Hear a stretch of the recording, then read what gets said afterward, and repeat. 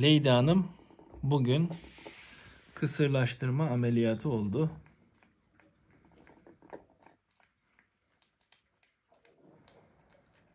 Sabah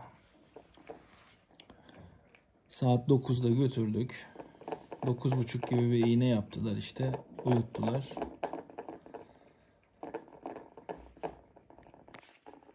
İşte ameliyatını yaptılar. Tam saatini bilmiyorum. Ben kliniğe bıraktım onu.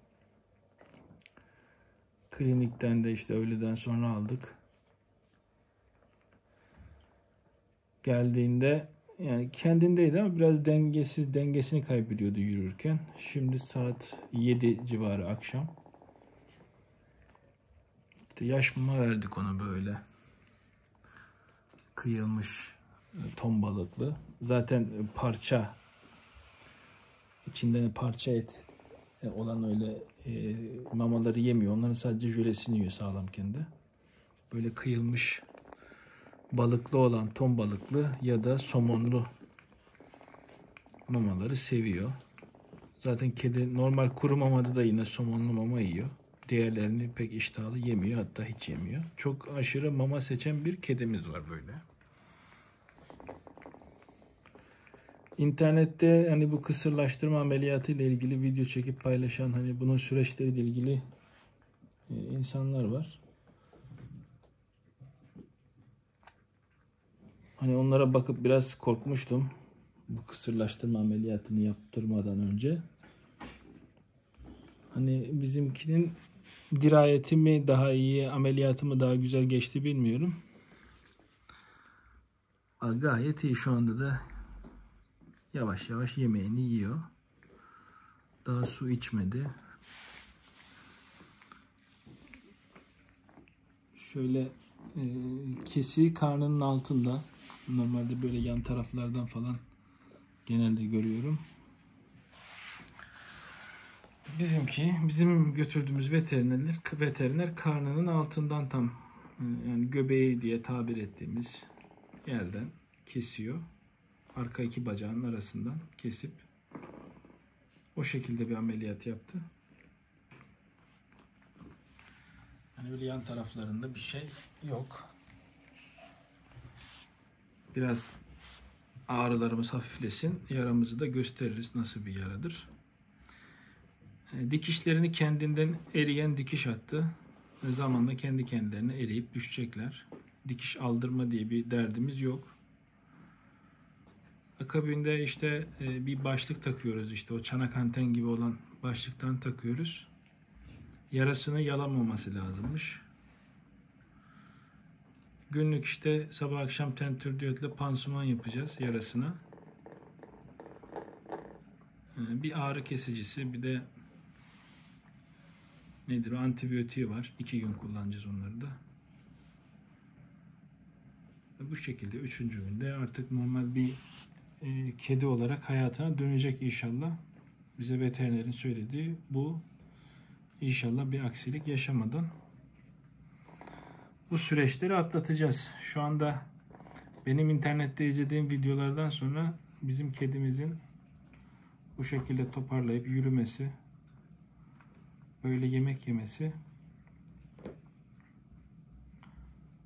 o kadar da korkulacak bir durum olmadığını gördük.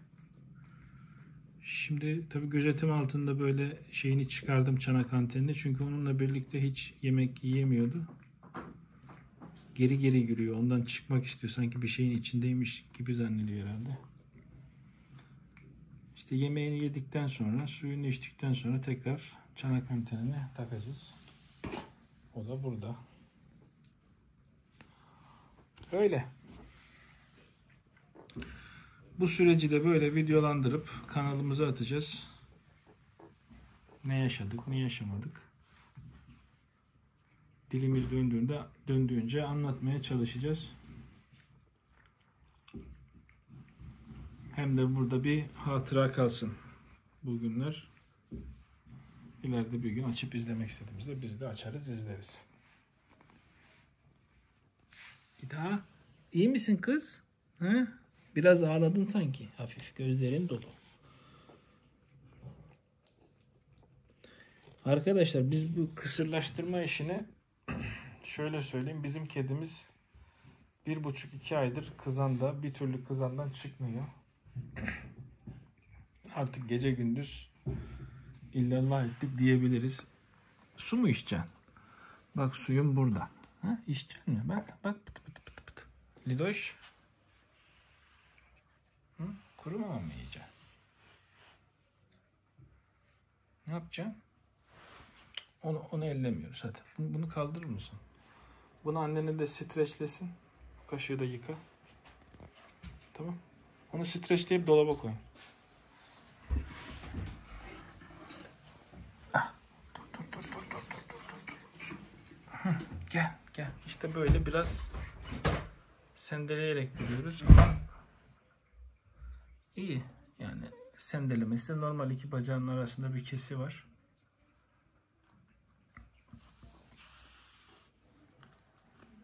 Oradaki kaslar bağ dokusu kesildiği için herhalde biraz iyileşene kadar hafif bir sendeleme olur diye düşünüyorum. Yani internette izlediğim bazı videolarda insanların kediler için yerinden kalkamıyor yani. Neyse arkadaşlar bizim Lady'miz 3 yaşında. Daha önceki sefer doğum yaptı. 5-5 10 tane çocuk yaptı.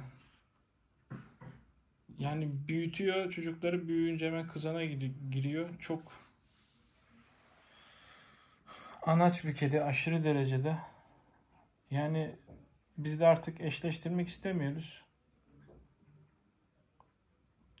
E yeter artık yani eşleşmesin. Yeterince yavrusu bulundu. Bunu dolaba mı koyacağız? Evet streçleyip dolaba koyun oğlum. Artık böyle onu da kurtardık. Böyle bağırmaktan mav mav diye kapılarda orada burada. E biz de kurtulacağız.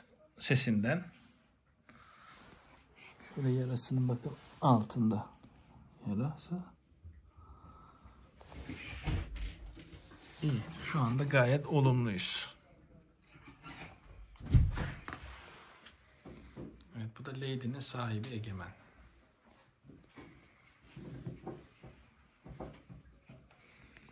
Yeri gösterdik mi? Yok. Yarayı bir sonraki videoda biraz daha kendine gelsin. Pansuman yapacağız falan o zaman gösteririz. Tamam. Kutusuna girmek istiyor galiba. Orada kendini daha güvenli hissediyor. Evet ama şimdi takacağız. Ha, girmesin. Çanak antenini takacağız şimdi biraz sonra. Evet. Diğer videolarda görüşürüz arkadaşlar. Böyle bu süreci de çekip videolandırıp kanalımıza atalım dedik.